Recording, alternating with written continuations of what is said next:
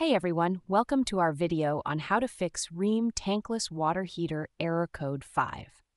In this video, we will discuss the reasons behind the error code and provide you with some easy fixes to get your water heater up and running again. The E5 error code on a Rheem tankless water heater signifies excessive water flow rate.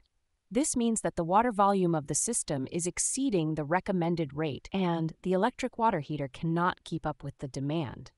There are several reasons why this error code may appear, including 1. Blocked air filter, 2. Clogged condensate trap, 3. Corroded heat exchanger, 4. Malfunction in the main burners, 5. Lack of combustion air, 6. Venting issues, 7. Incorrect gas pressure, 8. Dirty air filter, 9. Lack of airflow in the room.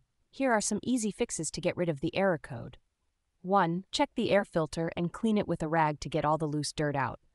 Use a garden hose to rinse the filter down and scrub it with a brush. After it is squeaky clean, let it dry. If cleaning doesn't work, replace the air filter. 2. Check the condensate trap and clean it if it is clogged. 3. Check the heat exchanger and main burners for corrosion or malfunction. If there is an issue, contact a professional to repair or replace the parts. 4. Check the venting system and ensure that there is fluent airflow to remove the combustion gas. 5. Check the gas pressure and ensure that it is correct. 6.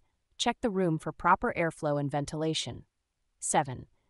If none of the above fixes work, try resetting your Rheem tankless water heater unit.